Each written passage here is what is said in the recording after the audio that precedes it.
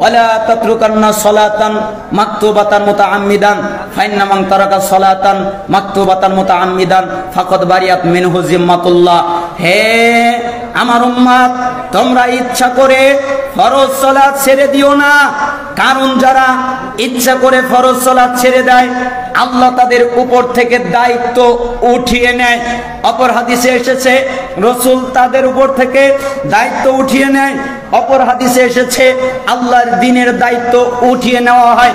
যারা সলাৎ আদায় করে না, যারা সলাৎ ত্যাগ করে, তাদের উপর থেকে আল্লাহর দায়িত্ব উঠে যায়, তাদের উপর থেকে আল্লাহর নবীর দায়িত্ব উঠে যায়, তাদের উপর থেকে আল্লাহর দিনের দায়িত্ব উঠে যায়।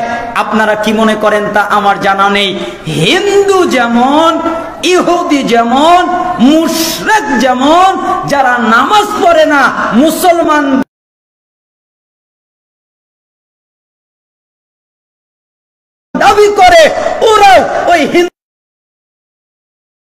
হিন্দু মুশরেকদের মতোই তেমন। নাম আব্দুল্লাহ হয়েছে, তাতে হয়েছে, তাতে কিছু আসে যায় না। যে ব্যক্তি সে মুসলমান নয়, সে ইমানদার নয়, প্রমাণ আমি নয়। আল্লাহ নবী বলেছেন, মুসলিমের বিরাশি নম্বর হাদিস, ইন্না বাইনার রজুল অবাইনা শিরক। নিশ্চয় একটা ব্যক্তি, একটা মুশরিক, একটা কাফের, এদের মধ্যে পার্থক্য নামাজ, এদের মধ্যে পার্থক্য সলা। সলাত সালাত নয় সালাত নয় সালাত নয়, সালাত ভিন্ন জিনিস সলাত নয়, সলাহ অথবা নামাজ। নামাজ হলো আমাদের দেশীয় ফার্সি ভাষা, কিন্তু আরবিতে হয় সলাহ। সলাত নয়, সালাত নয়, সলাহ। কারণ লাস্টে হলো গোলতা। গোলতায় ওয়াকফ করলে তা হয় না গোলতা মিলিয়ে পড়লে তা হয় গোলতা হা হয়ে যায়। তার মানে সলাহ যেই ব্যক্তি সলাহ ত্যাগ করে যেই ব্যক্তি নামাজ ত্যাগ করে সে মুসলমান নয়। যেই ব্যক্তি সলাহ আদায় করে যেই ব্যক্তি নামাজ আদায় করে এই ব্যক্তি হলো ইমানদার। আর যে আদায় করে না সে মুশরেক সে কাফের। তিরমিজি দুই হাজার ছয়শো আঠারো নম্বর হাদিস। বাইনাল কুফরি ওয়াল ইমান তার কসলা নিশ্চয় একটা ইমানদার আর একটা কাফের আর একটা মুশরেক। ইমানদার কাফের, এর মধ্যে পার্থক্য নামাজ। যারা ইমানদার তারা নামাজ আদায় করে। যারা ইমানদার নয়, তারা নামাজ আদায় করে না। নামাজ কিন্তু বোঝানোর জন্য আমি বলছি, মূলত সলাহ। আমি এক এলাকায় আলোচনা করতেছিলাম যে আজকে আলোচনার বিষয় সলাহ। তো আমাকে একজন আলোচনার পরে জিজ্ঞেস করলেন আচ্ছা আপনি যে ওয়াজ করলেন সলা সলা কি? মানে উনি জানে না যে সলা কি। এই জন্য আমি নামাজ বলতেছি, বুঝতে পারছেন? যাতে বুঝতে পারেন, যাতে বোঝা সহজ হয় এই জন্য বলছি, এটার অনুমতি আছে। তাহলে সলা যারা আদায় করে, তারা হলো ইমানদার। যারা সলা আদায় করে না, এরা হলো কাফের। তিরমিজি দুই হাজার ছয়শো একুশ নম্বর হাদিস আলাহাদুল্লাদি বাইনানো বাইনা হুমুসালা ফামান তারকা ফকত কাফার আমাদের মধ্যে আর তাদের মধ্যে পার্থক্য সলা। আমরা যারা ইমানদার, তারা সলা আদায় করি, তারা যারা কাফের, তারা সলা আদায় করে না। আমরা ইমানদাররা পড়ি, তারা কাফেররা পড়ে না। আমাদের দেশে আবার এক শ্রেণির হুজুর আছে, কয় যে সলা আদায় না করলে তাকে কাফের বলা যাবে না, সে তো অস্বীকার করে নাই। তা আপনাকে কে বলেছে? আল্লাহ রসুল কি বলেছেন? যে সলা অস্বীকার করল, কুফরি করল। এরকম হাতি শুনেছেন জীবনে? কি বলেছেন? যে ত্যাগ করল, ওই কুফরি করল। আবার অনেকে বলে, না, এটা হলো ছোট কুফরি। কে বলেছে ছোট কুফরি? বড় কুফরির একটা আলামত হলো, ওই কুফরের আগে আলিফ থাকে, লাম থাকে, মারেফা থাকে। বাইনাল কুফরি ওয়াল ইমান এই কুফরের আগেও আলিফলাম আছে, এই ইমানের আগেও আলিফলাম আছে।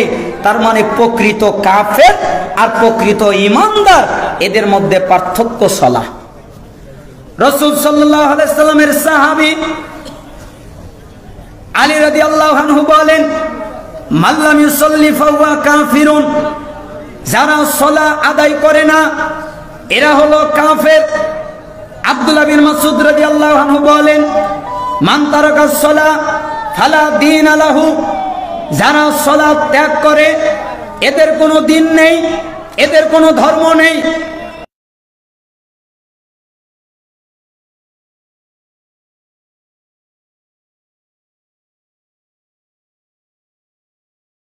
আবু দারদা তিনি বলেন, লা ইমানা লিমান লা সালাতা লাহু। ওই ব্যক্তির ঈমান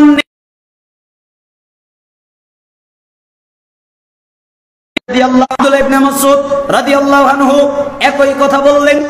আবু দারদা রাদিয়াল্লাহু আনহু একই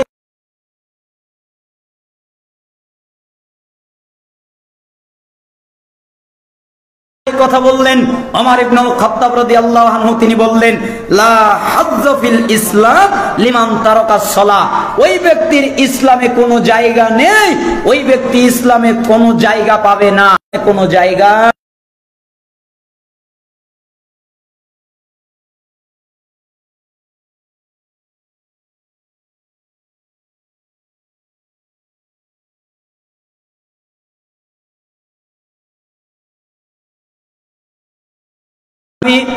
আব্দুল্লাহ বিন শাকিক তিনি ইজমা বর্ণনা করছেন। তিরমিজি দুই হাজার ছয়শো বাইশ নম্বর হাদিস, কানা আসহাবু মুহাম্মদ সাল্লাল্লাহু আলাইহি ওয়াসাল্লাম, লা ইয়ারানা শাইআম মিনাল আ'মাল, তারকুহু কুফরুন গায়রা তাহলে তাদেরকে কাফের মনে করা হতো। রাসূলের ফতোয়ায় যারা সালাত পড়ে না এরা কাফের। সাহাবীদের ফতোয়ায় যারা সালাত পড়ে না এরা কাফের। তাবিদের ফতোয়ায় যারা সালাত পড়ে না এরা কাফের। ইমামরাও তাই বলেছেন, যারা সালাত পড়ে না, বর্তমান বেঁচে আছেন সোলাইমান আর রোহাইলে হাফিজাহুল্লাহ, মসজিদে কুবার ইমাম। তিনিও বলছেন, জোহরের নামাজের ওয়াক্ত হয়ে গেছে। ওয়াক্ত যেতে যেতে যেতে যেতে আসরের ওয়াক্তে ঠেকে গেছে। কিন্তু আসরের ওয়াক্ত হয়ে গেল। এর ভিতরে জোহরের সালাত আদায় করে নাই। তাহলে সে যেন আসরের সালাত আদায় করার আগে কালেমা পড়ে মুসলমান হয়, তারপরে যেন আসরের সালাত আদায় করে। আমি বলিনি, মক্কা মদিনার ইমামরা বলেছেন, আমি বলিনি, মসজিদে কুবার ইমাম সুলাইমান আর রোহাইলে হাফিজাহুল্লাহ, তিনি কথা বলেছেন, আমি আপনার সামনে শুধু তার কথাটা নকল করলাম, তাহলে বেনামাজি কত খারাপ। যারা সলাত আদায় করে না, এদের সাথে মেয়েকে বিয়ে দেওয়া যাবে না। মেয়েকে বিয়ে দিলে বিবাহ বৈধ হবে না। যারা সলাত আদায় করে না এদের সাথে মেয়েকে বিয়ে দেওয়া বৈধ নয়। আপনি খালি শুনেছেন, কয় আপনার কয়টা ছেলে মেয়ে? কয়, আলহামদুলিল্লাহ, আমার তিনটা জান্নাত। বুঝেছেন? জান্নাত মানে কি? তিন মেয়ে। আরেকজনকে জিজ্ঞেস করে, আপনার কয়টা? কয়, আমার দুইটা জান্নাত। আরেকজনকে জিজ্ঞেস করে, আপনার কয়টা? কয়, আমার একটা। বাপ মনে করেছে, মেয়ে হলেই জান্নাত। মানে আর কিছু লাগবে না, হলেই জান্নাত। হাদিসের এক অংশ নিয়েছে, আর অংশের দরকার নেই। অথচ আল্লাহ রসুল সাল্লাহ সাল্লাম বলছেন, যার তিনটা মেয়ে হলো তিনটা মেয়েকে উত্তম ভাবে লালন পালন করল, আদব কায়দা শিক্ষা দিল ইমান শিক্ষা দিল, অতঃপর একটা ইমানদার পাত্রের হাতে তুলে দিল। বাপের কাজ শেষ, এ কারণে বাপকে জান্নাত দেওয়া হবে। তা আপনি যে আপনার মেয়েকে কাফের হাতে তুলে দিয়েছেন, আপনি যে আপনার মেয়েকে বেনামাজের হাতে তুলে দিয়েছেন, আপনি যে আপনার মেয়েকে মুশ্রিকের হাতে তুলে দিয়েছেন, তাহলে আপনার অবস্থা কি হবে? বেনামাজের সাথে বিয়ে দিলে বিয়ে বৈধ নয়, বিয়ে জায়েজ নয়, ওটা বিয়ে হয়নি। যতদিন সংসার করবে, ততদিন জিনা হবে। ওই জিনার গোনা ওই মেয়ের বাপের গাড়েও এসে উপস্থিত হবে। আপনি চাকরিজীবী খোঁজেন। আপনি সরকারি চাকরি করে কিনা দেখেন। কত টাকা ইনকাম করে এটা দেখেন। কিন্তু তার ইমান আছে কিনা, এটা আপনি দেখার প্রয়োজন মনে করেন না। আরেকটি ফতোয়া, আপনি যদি নামাজ আদায় না করেন সলা আদায় না করেন তাহলে আপনি আপনার মেয়েকে বিয়ে দিতে পারবেন না। এটাও বৈধ নয়, জায়েজ নয়। তিন, স্বামী সলাত আদায় করে, স্ত্রী সলাত আদায় করে না, স্ত্রী সলাত আদায় করে, স্বামী সলাত আদায় করে না, তাহলে এদের বিবাহ বিচ্ছিন্ন হয়ে যায়। যেটা সুরা মুমতাহিনার দশ নম্বর আয়াতে আল্লাহ তালা বলেছেন, স্ত্রী সলাৎ পরে স্বামী পরে না, স্বামী পরে স্ত্রী পরে না, এদের বিয়ে হয় বিচ্ছিন্ন। আর এটাকে বলা হয় অটো তালাক। তালাক দিতে হয় না, এমনিতেই তালাক। তার মানে সলাৎ আদায় না করলে স্ত্রী বৈধ থাকে না। সলাৎ আদায় না করলে স্বামী বৈধ থাকে না, অবৈধ হয়ে যায়। সলাত আদায় যে করে না ওই ব্যক্তি যদি কোনো পশু জবে করে মুরগি জবে করে, খাসি জবে করে, বকরি জবে করে, মহিষ জবে করে, গরু জবে করে, হালাল যত প্রাণী আছে, এগুলো যদি জবে করে, তাহলে ওই জবেকৃত গোস্ত মুসলমানের জন্য হারাম। একবার কেন? এক কোটি বার যদি বিসমিল্লাহ বলে, আর যদি সলাপ আদায় না করে, তার জবকৃত গোস্ত খাওয়া হারাম। এবং আহমদ বিন হাম্বল বলেছেন, একমাত্র বিদাতিরাই বলতে পারে, এর গোস্ত খাওয়া যাবে যারা সন্নাপন্থী, যারা আহলুল হাদিস, যারা আহলুস সুন্নাওয়াল জামাত, তারা একমত যে বেনামাজির জবকৃত গোস্ত খাওয়া হালাল নয়। এমনকি সে যদি মারা যায়, তার যদি মৃত্যু হয়, তার জানাজা পড়া মুসলমানের জন্য হারাম। বেনামাজির জানাজা পড়তে পারবে না। বেনামাজির কোনো জানাজা নেই, কুত্তাকে যেরকম করে দাফন করতে হয়, কুত্তার মতো দাফন করতে হবে। কুত্তার মতো ফেলে দিতে হবে। কিসের তার জানাজা? কিসের তার দোয়া? তার জন্য কোনো দোয়া নেই, তার জন্য কোনো জানাজা নেই। তার জন্য জানাজা পড়লে নেকি হবে না। জানাজা পড়লে এক কেরাত, মাটি দিলে দুই কেরাত, জানাজায় এক কেরাত, মাটিতে এক কেরাত, দুইটা মিলে দুই কেরাত, এক কেরাত উহুদ পাহাড়ের সমান। তার মানে এত বড় নেকি, কিন্তু বেনামাজির জানাজা পড়লে নেকি নাই। তাহলে কি আছে? গুনাহ আছে। বেনামাজির জানাজায় কোনো নাকি নাই? আপনি বেনামাজিকে কবর দিচ্ছেন আর পড়ছেন, বিসমিল্লাহি ওয়ালা মিল্লাতি রসুলিল্লাহ। কেন বললেন? ও তো সারা জীবন রসুলকে মানেনি, ও তো শয়তানকে মেনেছে, ও তো শয়তানের আনুগত্য করেছে, ও তো শয়তানের ইবাদত করেছে। বিসমিল্লাহ আলা মিল্লাতি ইবলিস। আমি ওকে ইবলিসের মিল্লাতে রাখলাম? কিসের মোহাম্মদের মিল্লাত? আগে মোহাম্মদকে মানুক আগে মোহাম্মদ সাল্লা সাল্লামের আনুগত্য করুক আগে আল্লাহ তালার ইবাদাত করুক, আগে সলাৎ আদায় করুক। সলাৎ হলো আল্লাহর ইবাদাত। সলাৎ আদায় না করা শয়তানের ইবাদাত। শয়তান বলেছে সলাৎ পড়ো না। আল্লাহ বলেছেন সলাৎ পড়ো। যারা সলা পড়ে, ওরা আল্লাহর ইবাদত করে। যারা সলা না করে, ওরা শয়তানের ইবাদত করে। তার মানে যারা সলাৎ আদায় করে না, এরা কত খারাপ। এক, এদের সাথে মেয়ে বিয়ে দেওয়া যাবে না। দুই, এরা কোনো মেয়েকে বিয়ে দিতে পারবে না। তিন, এদের বিয়ে বৈধ থাকবে না। চার, এরা কোনো পশু জবে করলে গোস্ত খাওয়া যাবে না। পাঁচ, এদের জানাজা পড়া যাবে না। ছয়, এদেরকে উত্তরাধিকারী সূত্রে কোনো সম্পত্তি দেওয়া যাবে না। তাহলে বেনামাজি কত খারাপ। এর দ্বারা কি বুঝলেন? নামাজ আদায় করবেন সলাত আদায় করবেন না ত্যাগ করবেন? রাজি আছেন সবাই? কে কে রাজি? দুই হাত উঁচু করে দেখান।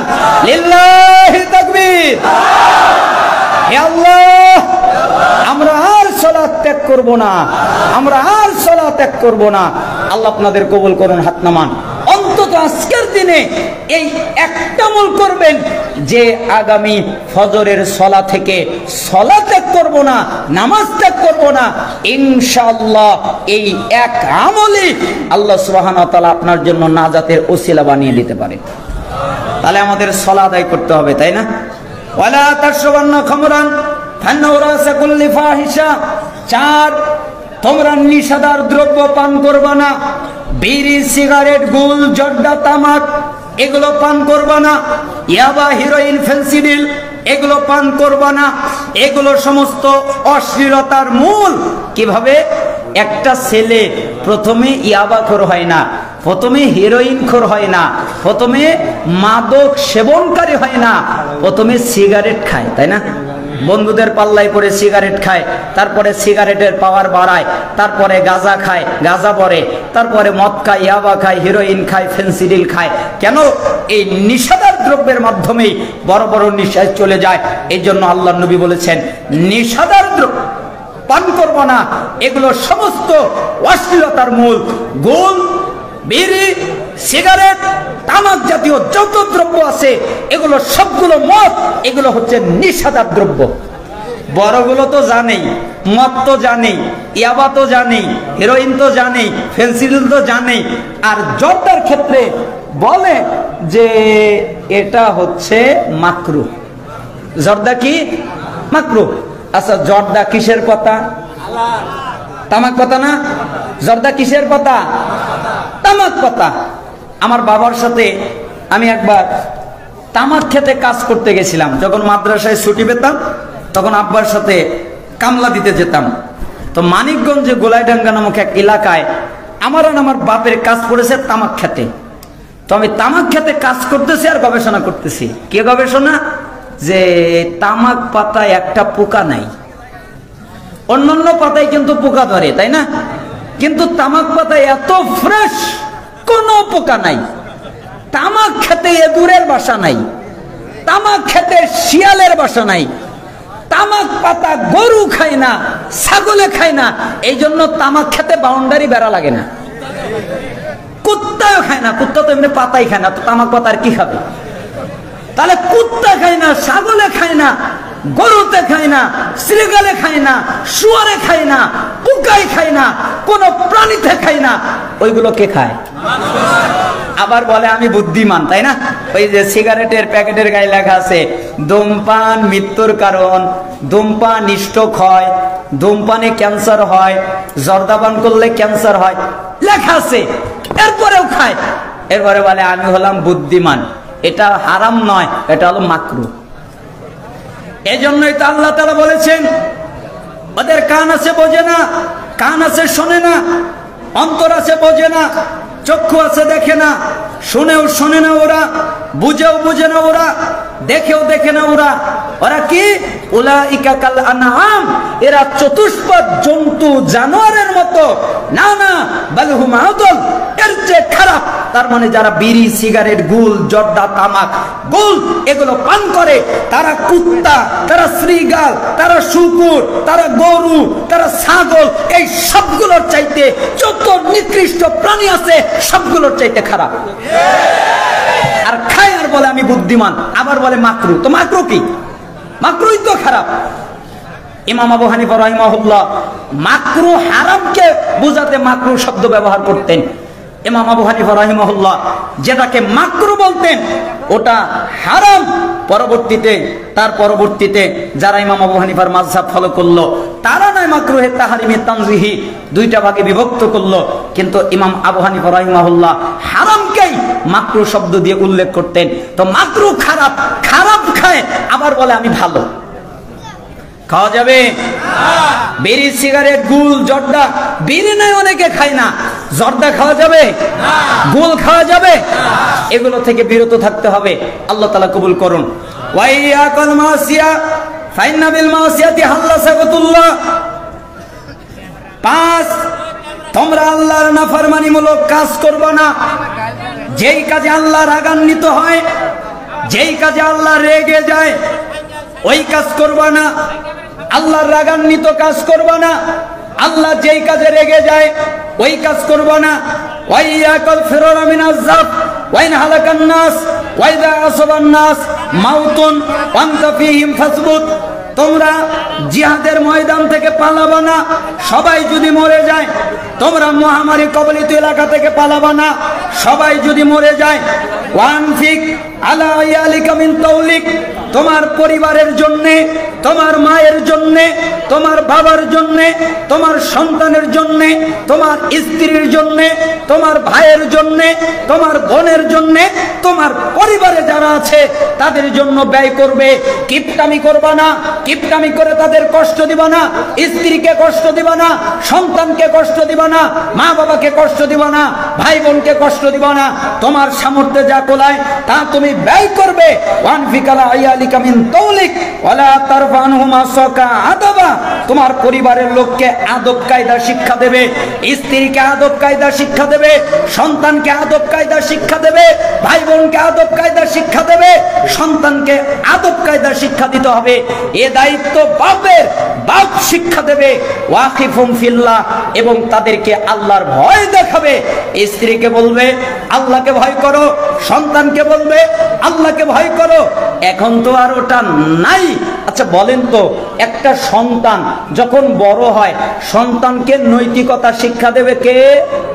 বাপ। আর আমরা দেই হুজুরের কাছে, তাই না? যে হুজুর শিক্ষা দিক, স্যার শিক্ষা দিক, শিক্ষক শিক্ষা দিক। আর হাদিসে কি বলছেন আল্লাহ নবী সাল্লাম বলছেন, যখন সন্তানের বয়স সাত বছর হয়, তখন তাকে সলাতের আদেশ করো, তাই না? কয় বছর বয়স হলে? সাত বছর। কয় বছর পর্যন্ত? দশ বছর পর্যন্ত। তার মানে তিন বছর। প্রত্যেক ওয়াক্তে ফজরে বলবে, আব্বা, নামাজ পড়ো। জোহরে, আব্বা, সোনা, ময়না, নামাজ পড়ো। আসরে, আব্বা, নামাজ পড়ো। মাগরিবে, এশায় আদর করে করে নামাজ পড়াবে। কেন? এই সাত থেকে নিয়ে দশ বছর পর্যন্ত পেটন দিতে পারবে না। মারতে পারবে না। খালি আদর চলবে। আব্বা, নামাজ পড়ো। বাবা, নামাজ পড়ো। সোনা, নামাজ পড়ো। যখন বয়স দশ হয়ে যাবে, তখন পিটিয়ে সালাত আদায় করাবে।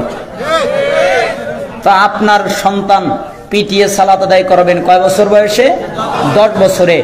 পনেরো বছর পর্যন্ত তার মানে পনেরো বছর পর্যন্ত পিটিএ সালাত আদায় হবে। পনেরো বছর পরে যদি সন্তান সলাত আদায় না করে, তাহলে বাপ জন্ম সনদ হাতে নেবে, এরপরে সরকারের কাছে যাবে। আমার ছেলের বয়স পনেরো এখনও নামাজ আদায় করে না। আমার ছেলের বেঁচে থাকার অধিকার নেই সরকার। আপনি আমার ছেলেকে মৃত্যুদণ্ড দেন। তার মানে পনেরো বছরের পরে যদি সলাপ আদায় না করে, তার বেঁচে থাকার অধিকার দুনিয়া থেকে হারিয়ে ফেলে। তার মানে সাত বছর থেকে নিয়ে পনেরো বছর পর্যন্ত আট বছর সন্তানকে সালাতের ট্রেনিং দিবে। তাহলে বলেন তো যেই সন্তানকে আট বছর সালাতের ট্রেনিং দেওয়া হবে ওই সন্তান বেনামাজি থাকবে? তা আল্লাহ যে বললেন সন্তানকে ভয় দেখাও পরিবারকে ভয় দেখাও তাদেরকে আল্লাহর ভয় দেখাও। তা আপনি আপনার সন্তানের সাথে কি করছেন? আপনি কি আপনার সন্তানকে ভয় দেখাচ্ছেন? আপনি কি আপনার স্ত্রীকে আল্লাহর ভয় দেখাচ্ছেন? মুসনাদে আহমদ একুশ হাজার পাঁচশো সত্তর নম্বর হাদিস এটা। মিসকাতুল মাসাবিহের একষট্টি নম্বর হাদিস এটা। আল্লাহ নবী সাল্লাহ সাল্লাম দশটা কথা বললেন। এক, শিরিক করবা না। দুই পিতা মাতার নাফারমানি করবা না। তিন, ইচ্ছা করে সলা ছেড়ে দিবা না। চার নিষাদার দ্রব্য পান করবা না। পাঁচ তোমরা আল্লাহর নাফারমানিমূলক কাজ করবা না। ছয়, জিহাদের ময়দান থেকে পালাবা না। সাত, মহামারী কবলিত এলাকা থেকে পালাবা না। আট, পরিবারের জন্য ব্যয় করবে কিপটামি করে কষ্ট দিবা না। নয়, পরিবারের লোককে আদব কায়দা শিক্ষা দেবে। দশ, তাদেরকে আল্লাহর ব্যাপারে ভয় দেখাবে। আল্লাহ তালা যেন আমাদেরকে এই দশটা উপদেশ পালন করার তৌফিক দান করে আন আবিদর আবুজার রাদিয়াল্লাহু আনহু قال তিনি বলেন আমরনি খলিল বিসাবাইন আমার অন্তরঙ্গ বন্ধু আমার খলিল আমাকে সাতটা কথা বলেছেন তিনি আমাকে সাতটা আদেশ করেছেন আমি যেন সাতটা বিষয় পালন করি তিনি আমাকে বলেছেন তিনি আমাকে বলেছেন আমার অনিবি হব্বিল মাসাকিন ওয়াদ্দুনুবি মিনহুম এক আমি যেন মিসকিনদের ভালোবাসি এবং যেন তাদের কাছাকাছি থাকি, যাদের খাদ্য নেই, আমি যেন তাদের খাদ্য দেই, যাদের পোশাক নেই, আমি যেন তাদের পোশাক দেই, যাদের বাসস্থান নেই, আমি যেন তাদের বাসস্থান দেই। তার মানে যারা মিসকিন, আমি যেন তাদেরকে ভালোবাসি।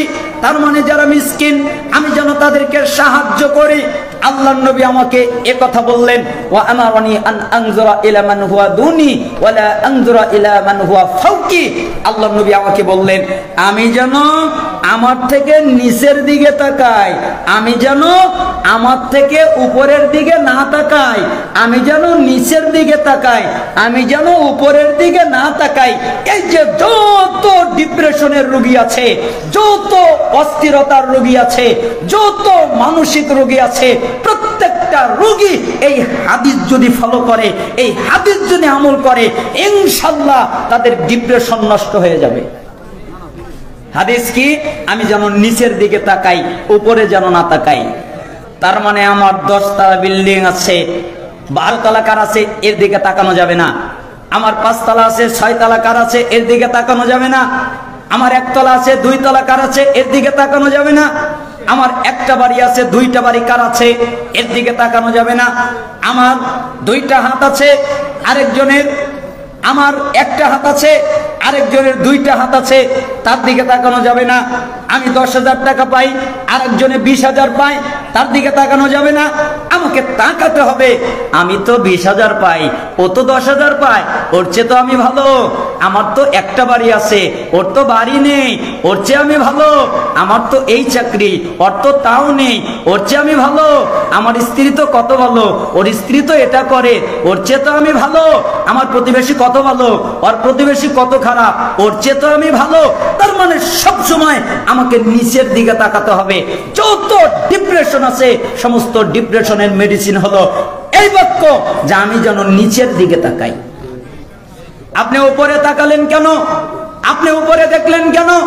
আপনাকে নিচে দেখতে হবে। আপনি কেন উপরে গেলেন? আল্লাহ নবী সাল্লাম আপনাকে এ বাক্যই বললেন আল্লাহ নবী সাল্লাল্লাহু আলাইহি সাল্লাম বললেন, আমারনি আনাসিলা রহিম, ওয়াইনা আদবারাত। তিন, আমি যেন আত্মীয়তার সম্পর্ক বজায় রাখি।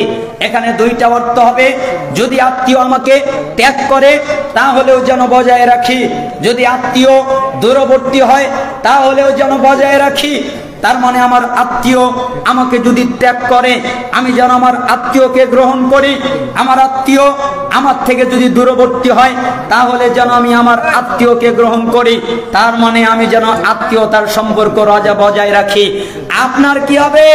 আপনার ভাইয়ের সাথে দুই বছর হলো কথা বলা হয় না, দশ বছর হলো কথা বলা হয় না, আপনার প্রতিবেশীর সাথে পাঁচ বছর হলো কথা বলা হয় না, সাত বছর হলো কথা বলা হয় না, কার কত বছর হলো সে নিজেই জানে।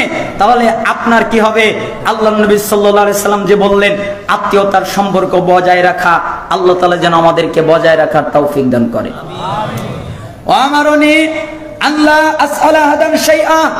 চার, আমি যেন আল্লাহ ছাড়া কারও কাছে কিছু না চাই, আমি যেন কিছু চাইতে হলে আল্লাহর কাছে চাই। চাবো কার কাছে। এমনকি সাহাবিরা তাদের যদি জুতার ফিতা ছিঁড়ে যেত, তাহলে আল্লাহকে বলতো, আল্লাহ, আমার জুতার ফিতা ছিঁড়ে গেছে, আপনি ব্যবস্থা করে দেন। এমনকি সাহাবিরা তাদের যদি লাঠি পড়ে যেত, তাহলে তারা বাহন থেকে নামতেন, নিজের হাতে লাঠি উঠাতেন, কারও কাছে সাহায্য চাইতেন না। আর আমরা খাজা বাবার কাছে, পীর বাবার কাছে, ডেক বাবার কাছে, ল্যাংটা বাবার কাছে, উড়াল বাবার কাছে কত বাবা যে বের হয়েছে, কত মাজা কত খানকা, কত খাম্বা, কত গাছ যে বের হয়েছে, আমরা আল্লাহর কাছে সাহায্য চাওয়ার পরিবর্তে এদের কাছে সাহায্য চাই। অথচ এদের কাছে সাহায্য চেয়ে আমরা আমাদের ইমানকে বরবাদ করছি, আমরা আমাদের ইমানকে নষ্ট করছি এই জন্য আল্লাহ নবী বললেন, আমি যেন আল্লাহ ছাড়া কারও কাছে কিছু না চাই। অমরণী আন আকুলা বিল হাক্কি ওয়াইন কানা মুররা। পাঁচ আমি যেন হক কথা বলি, যদিও তা তিতা লাগে। আমার কথা তিতা লাগতে পারে, আমার কথা কর্কশ লাগতে পারে, আমার কথা খারাপ লাগতে পারে, তাতে কিছু আসে যায় না। আমি যেন হক কথা বলি, আমি যেন সত্য কথা বলি, যদিও তা তিতা লাগে। আবুজর তুমি হক কথা বলবে আবুজর তুমি সত্য কথা বলবে, যদিও তিতা লাগে, তাদের তিতা লাগুক, এটা তোমার দেখার বিষয় নয়। তুমি হক কথা বলবে, তুমি সত্য কথা বলবে। আমার অনেক আল্লাহ আমি যেন আল্লাহ ছাড়া কাউকে ভয় না করি। যদি ভয় করতে হয়, তাহলে যেন আল্লাহকে ভয় করি। ভয় করব কাকে? কোনো ব্যক্তি নয়, কোনো লোক নয়, কোনো মানুষ নয়, কোনো খাম্বা নয়, কোনো খানকা নয়, কোনো মাজার নয় কেউ নয়। যদি ভয় পেতে হয় তাহলে একমাত্র ভয় পাবো কাকে? এই জন্য আল্লাহ নবী বললেন তুমি আল্লাহ ছাড়া কাউকে ভয় পাবা না। ওয়া আমারানি আন আকসির মিন কওলি লা হাওলা ওয়ালা কুওয়াতা ইল্লা বিল্লাহ ফা ইন্নাহুন্না মিন কানজিন তাহতাল আরশ। আর তুমি অধিক পরিমাণে লা হাওলা ওয়ালা কুওয়াতা ইল্লা বিল্লাহ এটা পাঠ করবে। এর মানে আল্লাহ ছাড়া আমার কোনো শক্তি নেই, আল্লাহ ছাড়া আমার কোনো সামর্থ্য নেই। কেন? এটা আরসের নিচ থেকে এসেছে আরসের কোষাগার থেকে এসেছে। এই বাণী তুমি পাঠ করবে। ইল্লা অপর বর্ণনায় এসেছে, এটা জান্নাত থেকে এসেছে। অপর বর্ণনায় এসেছে, এটা জান্নাতের গুপ্তধন। আর সাহাবীরা বলতেন, এই বাক্য যারা পড়বে, এটা যেখান থেকে এসেছে, যারা পাঠ করবে, এটা তাদেরকে সেখানেই নিয়ে যাবে। তার মানে ষাটটা কথা বললেন। মিসকাতের পাঁচ হাজার দুইশো উনষাট নম্বর হাদিস এটা। এক, আমি যেন মিসকিনদের ভালোবাসি, তাদের কাছাকাছি থাকি। দুই, আমি যেন আমার থেকে নিচের দিকে তাকাই। তিন, আমি যেন আত্মীয়তার সম্পর্ক বজায় রাখি। চার, আমি যেন আল্লাহ ছাড়া কারও কাছে কিছু না চাই। পাঁচ আমি যেন হক কথা বলি যদিও তার তিতা লাগে ছয় আমি যেন আল্লাহ ছাড়া কাউকে ভয় না করি সাত আমি যেন অধিক পরিমাণে লা হাওলা ওয়ালা ইল্লা বিল্লাহ পাঠ করি। আল্লাহ সুবহানাহু ওয়া তাআলা আমাদেরকে হাদিসের উপরে আমল করার তৌফিক দান করুন। আমাকে শেষ করার জন্য বলা হয়েছে, আল্লাহ সুবহানাহু ওয়া তাআলা আপনাদেরকে কবুল করুন, এই মাহফিলকে কবুল করুন। সম্মানিত সাহেব কথা বলবেন। আল্লাহ সুবাহন তালা তার জবান দিয়ে বরকতময় কথা বের করুন এবং আপনারা ধৈর্য সহকারে শুনবেন। আল্লাহ সুবাহন তালা কবুল করুন। আসসালামু আলাইকুম রহমতুল্লাহ বারাকাতুহু।